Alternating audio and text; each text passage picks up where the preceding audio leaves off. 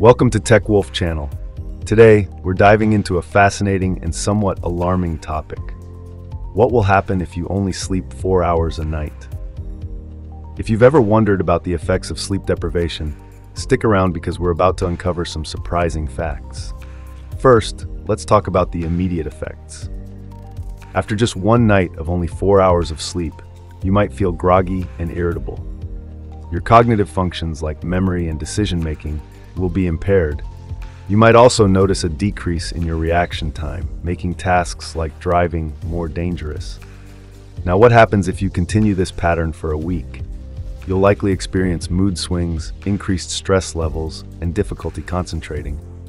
Your immune system will also take a hit, making you more susceptible to illnesses like colds and flu. But what about the long-term effects? Chronic sleep deprivation can lead to serious health issues such as heart disease, diabetes, and high blood pressure. It can also affect your mental health, increasing the risk of anxiety and depression. In your daily life, you might find it harder to maintain relationships and perform well at work or school. Lack of sleep can also lead to weight gain, as it disrupts the hormones that control hunger and appetite. So what can you do to avoid these negative effects? Here are a few tips for better sleep.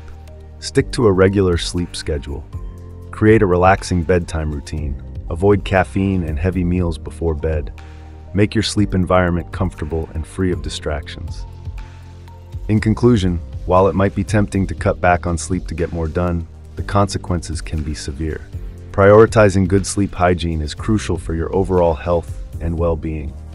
Thanks for watching, and don't forget to like, comment, and subscribe for more insightful content.